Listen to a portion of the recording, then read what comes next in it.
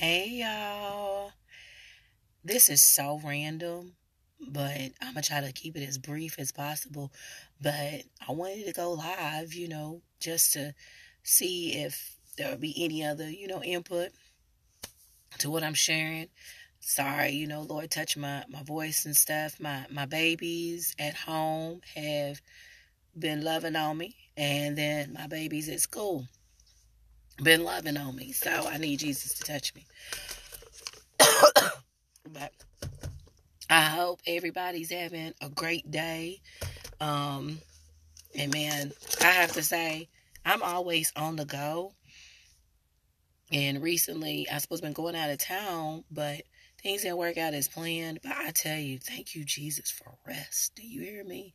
But anyways, like I said, I, what um, I, I'm a probably wait like one more minute and so forth. But I wanted to talk about parenthood, childhood, you know, um, uh, love, identity, relationships, but solely about parenthood and so forth. So, you know, uh, like I said, I'm gonna wait a few more minutes and see and stuff. And anybody else is gonna join and what have you and stuff. But um, let's see. I don't even know how this stuff works.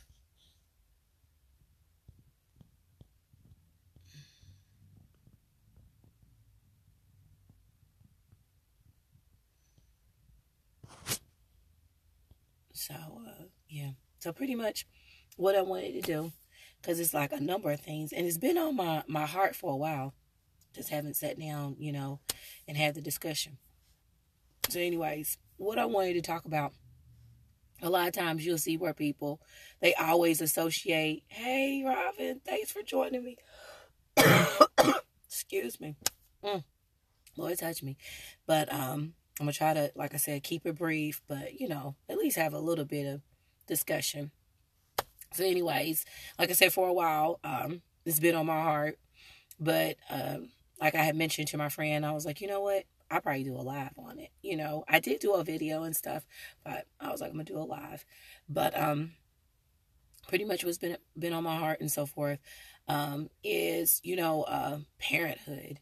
It's unfortunate that in our our world and our culture, you know, a lot of children are raised in um, single parent homes. May it just be, you know, the moms or the dads, and there's because there's more and more moms who are walking away as well, you know, or they weren't in a position, you know, to take care of their child and stuff.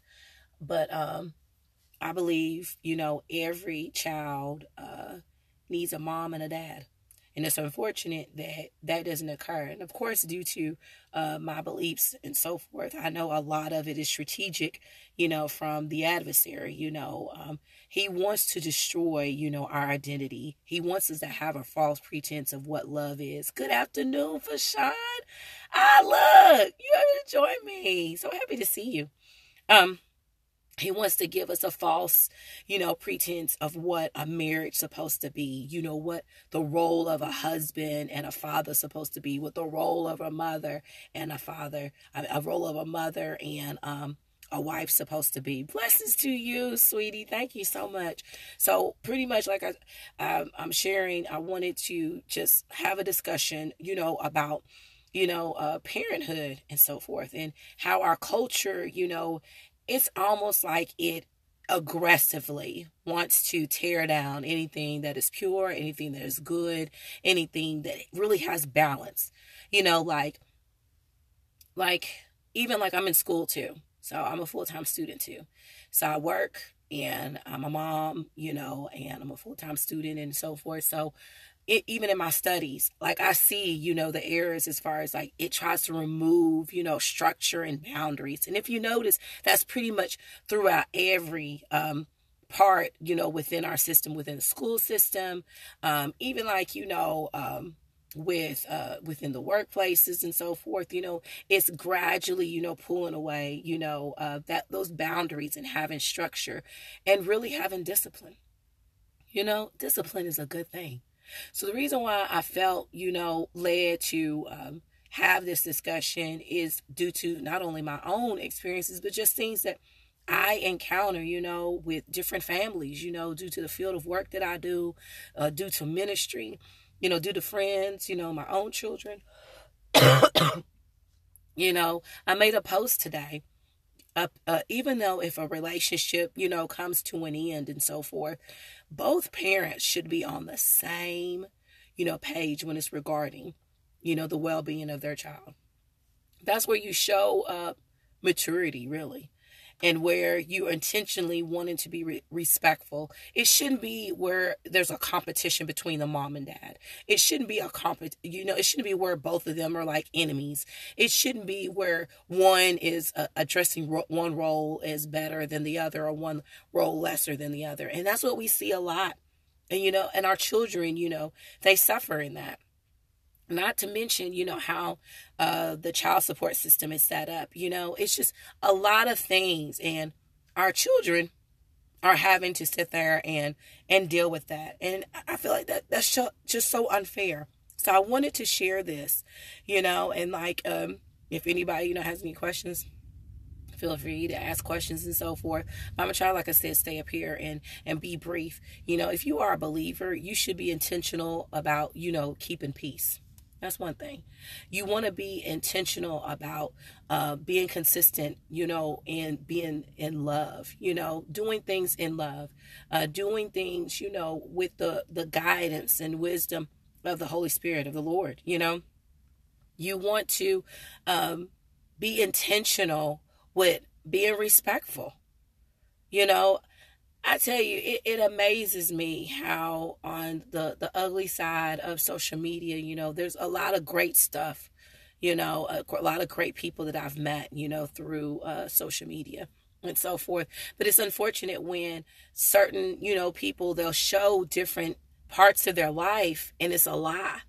You know, they'll give a, a, a mislead or a false pretense of what uh, really is going on. And I just want to encourage, you know, I always get compliments and so forth about, you know, my children and so forth and about being a mother.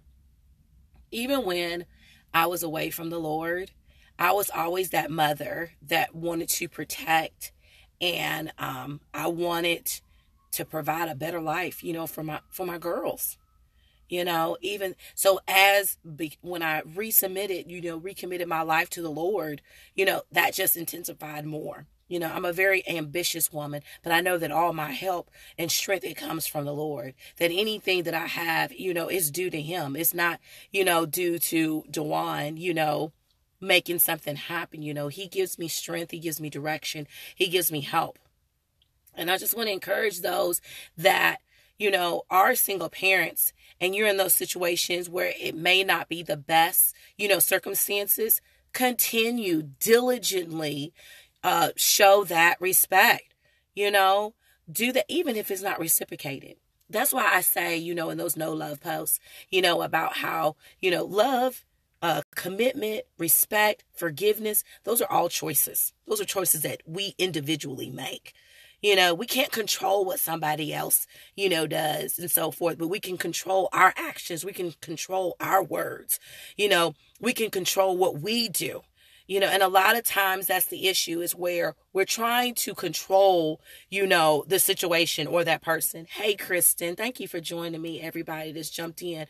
So, uh, like I said, I felt led like a lot of times you'll hear people say, well, um, that person is bitter or they're doing this. You don't know what goes on behind the scenes. And, you know, even the things that I share on my social media profiles over the years due to, you know, trial and error and also learning a lesson, there's certain things I'm not going to sit there and put on social media you know and and one in particular i'm not going to put on social media as far as you know um something that I don't agree with, you know, that my children's fathers may be doing or something. I'm I'm not going to do that because reason why I'm not going to do that, I'm not going to give room for the enemy. I'm not going to give room to the devil to sit there and just create a bunch of strife or confusion and so forth or whatever. So I just want to give this seed, you know, to help those when you get up there and, and you are a parent and you're getting up there Oh, God bless you, Randy. You get up there and you are negatively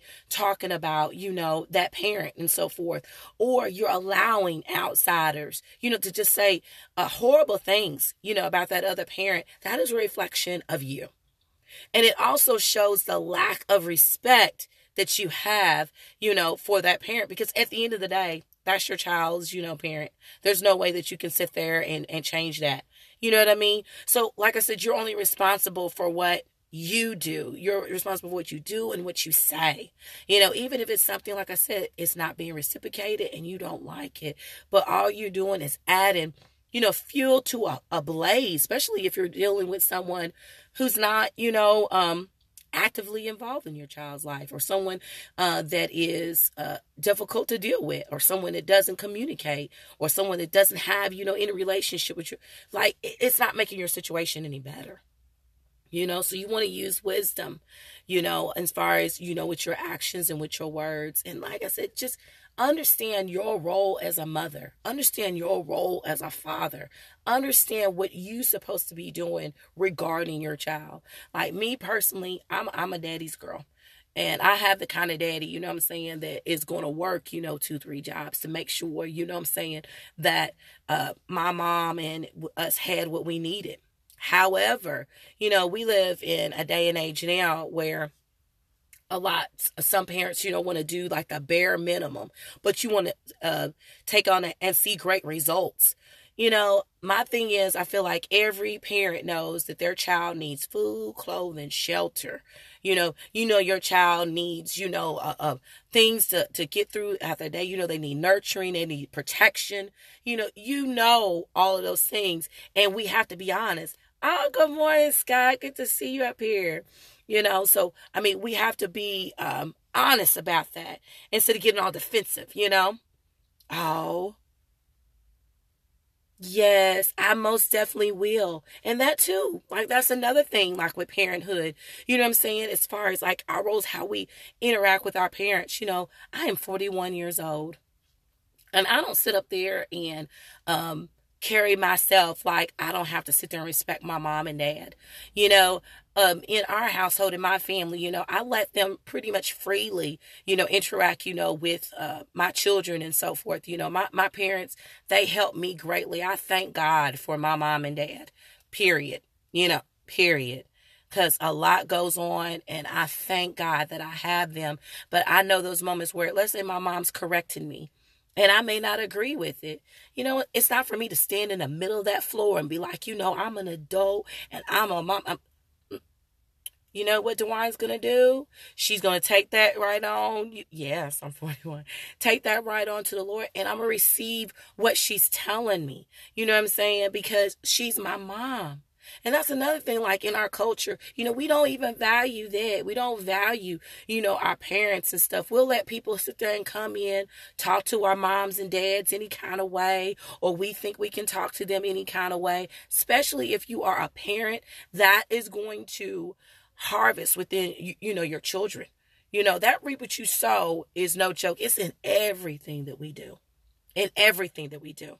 You know, it's going to bring a harvest, period. You know, so there's no way no way of getting around that. Honor, honor your mom and daddy. You know, um, and and then those things where it's very very strenuous relationships, difficult relationships, you give it to Jesus. Those are things you go to the Lord. You know, there's things that, for example, my oldest daughter, you know, goes through that I've never went through when I was her age. All I can do is tell her, you know, you need to give that to Jesus. Don't you carry that? You know, you give that to Jesus. So I promise you, the Lord will give you strength in those kind of situations. Um, Bexy, I hope I'm pronouncing your right, your name right. You know, and He'll give you um, strength to endure that. And really, I'm another example. I remember when I was going through. Um, I was in my marriage and it was a bad marriage. And I remember the Lord, he, he was helping me to love my husband. Even though my husband wasn't loving me, he was helping me to love my husband. You know, that's possible. That's the same thing. So I believe if God can help me, you know, love somebody that wasn't loving me, you know what I'm saying? He can definitely do that, you know, with our situations with, you know, family members. Because, you know, sometimes in family, you know, sometimes we can say whatever comes off the top of our head and not keep in consideration, you know, how we may be hurting somebody, you know, and we need to be mindful of that. Yes, God, I am.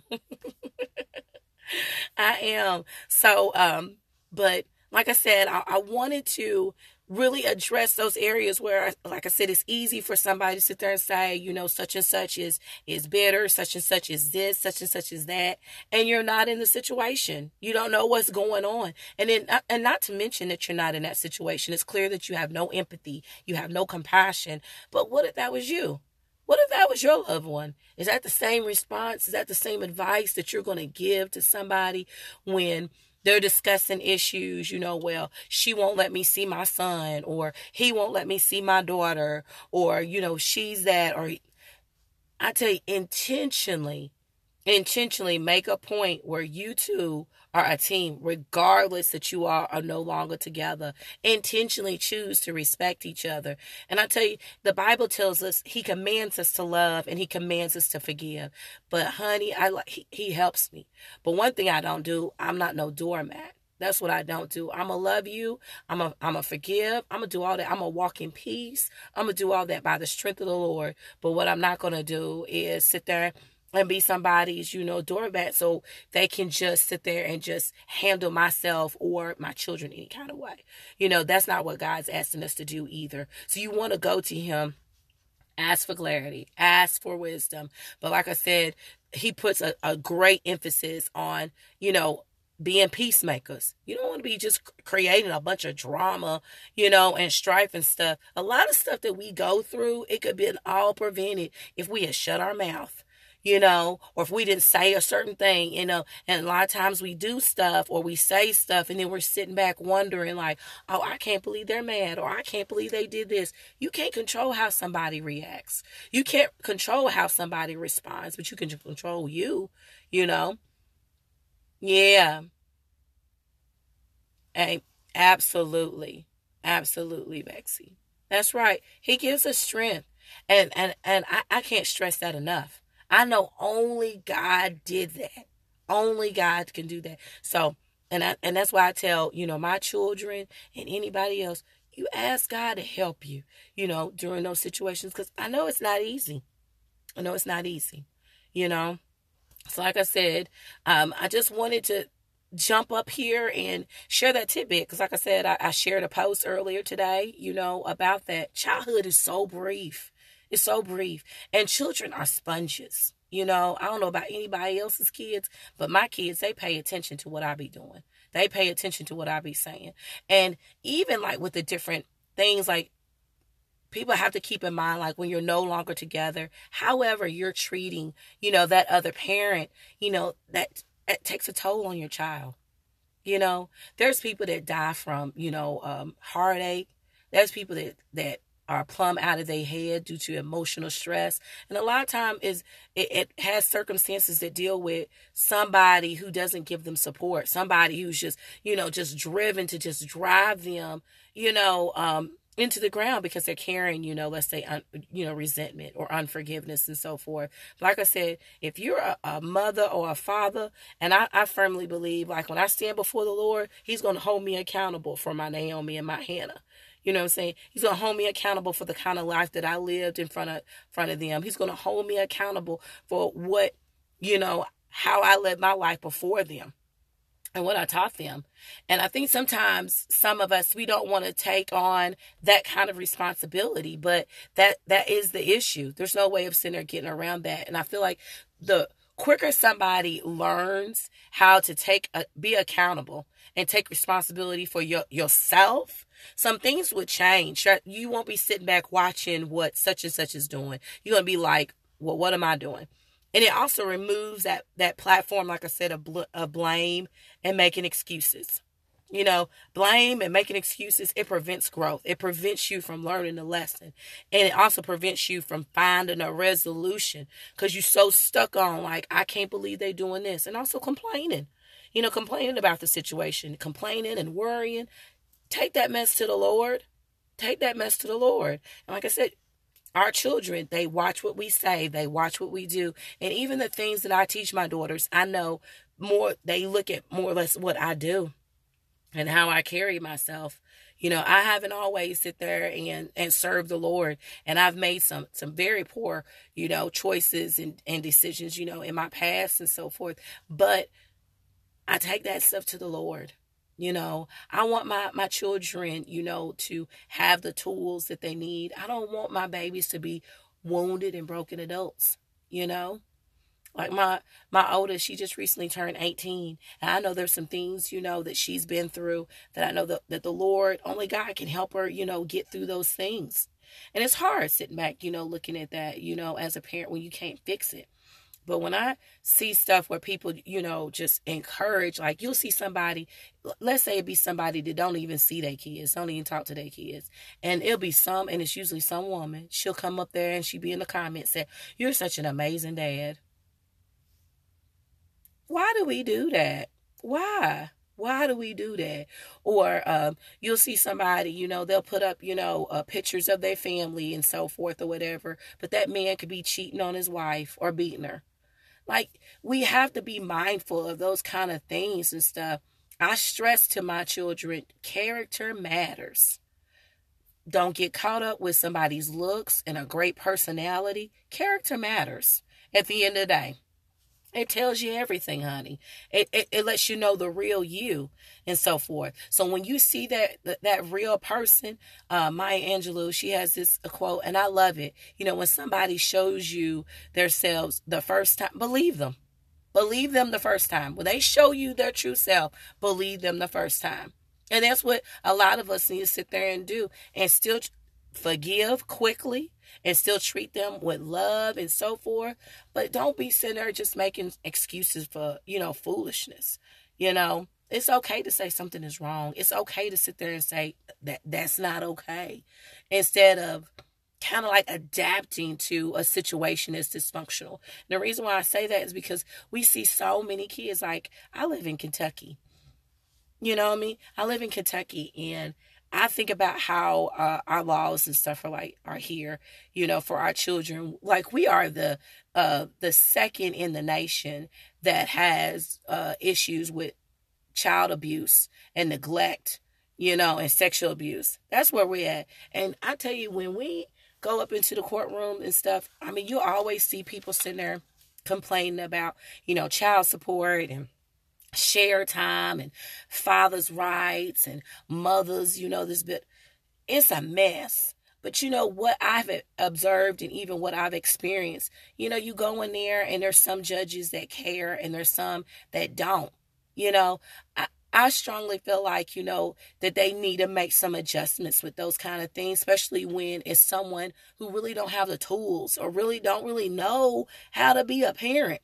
You know, there's fathers they'll go up in there. They they don't even have a lease. They don't even have that name on a lease, but they going in there talking about, you know, I care about my child. How? And you don't have a place to live. You don't think anything is wrong with that? Or mothers, you know what I'm saying, where they're just bringing anybody and everybody into their home, you know, placing their daughters or, or their sons, you know, in harm's way and stuff. And you don't think that matters, sweetheart? That does. That does. That impacts your child. I feel like when you become a parent, it's no longer about you. And that's the same thing way we love. When you love, it's not about you. It's selfless. You know, love is patient, love is kind. You know, I believe the definition of what the Bible says, you know, love is. Period. And and if and if it's not representing that, honey, I guard I guard myself and I guard my babies. You know, that's that's how I, I, I, work. But I, I just I really really would love for more people, more single parents to really focus on that bigger picture, and that's the well being of your child, of wanting to give them every tool to be the best adult that they can be in this world. You know, it shouldn't be where you know folk are, are, enemies. And a lot of times like i said what happens is people get involved get in other relationships and somebody else is coming into the picture and they deciding what's going to go and what's going to happen insecurities and so forth. I tell you your child matters. Your child's well-being matters. And you want to be that parent that's making sure that you have a whole you know child. You don't want to be that parent where you're missing out you know, uh, watching your child grow or not being a part of part of their growth. You know, so I just want to encourage us love, intentionally love, intentionally forgive, and use wisdom, pursue peace. You know, try to find that re- resolution. But uh, I'm gonna get up off of here. I've been up here for longer than I expected and stuff. But I hope y'all have an amazing, amazing day. And for those that join me, I appreciate it. The ones that uh listen to it afterwards, I hope you find some nuggets and you apply it, you know, to your life. Hey, bruh, I'm about to get up off of here. Just talking about, you know, parenthood and so forth, and having more compassion. You know, having more empathy, you know, really wanted to find some answers and being effective, you know, as parents and stuff. And I tell you, uh, the Lord helps me. I look at, you know, everything that I am and everything with my, my children is due to the Lord. I take no credit for that. That's due to my Jesus. I mean, He's placed some amazing men and women, you know, in their lives. I thank God for my mom. And I, I think about people who don't have that kind of support you know, that affects your kid, you know, and then to go into a court system and they're not really addressing the root of the problem. You know, they're really just wasting time, wasting time and money. You know, um, there's things that I think about, you know, um, when things are, are going on within that system and stuff. And there's no reason for it, for it to not be more effective, you know, but I feel like as moms and dads, you really care about your children and your child, you're going to do everything that you can, you know, for the best interest of your child. You're going to look at the bigger picture. Period. You're not just going to come from a, a selfish, you know, a position. And, and if you are hurting, get healing, you know? Because if, if you don't get that healing, you can't help your babies. You can't give your babies what you don't have. So if you don't have love, not going to be able to teach that to your kids. You're not going to be able to give that to your kids. You know, I even told my daughter, there's no way to even respect folk without love. You have to have love in order to even do that. If you, if someone is disrespectful, they lack love. Come on, let's let's get that together and and like I said, be be intentional with that. I hope y'all have a great day. I appreciate y'all listening to me. Blessings.